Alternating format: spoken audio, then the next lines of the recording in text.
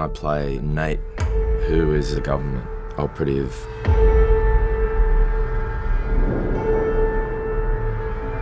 He's sort of fallen from grace early in his career from Russia, but he's given a second shot to make contact with Jennifer's character, who's sent out into the field to get him and extract the name of his operative. Have dinner with me. Are we going to become friends? Finds himself falling for Jennifer's character. When you start to cross over into the area of feeling, can you trust that? Is what you're receiving honest, or is it just part of the game to get what she wants? She's a sparrow. There's something else we're not seeing. Something's really inherently psychologically dangerous about the whole story and the whole world. There's something very satisfying about that.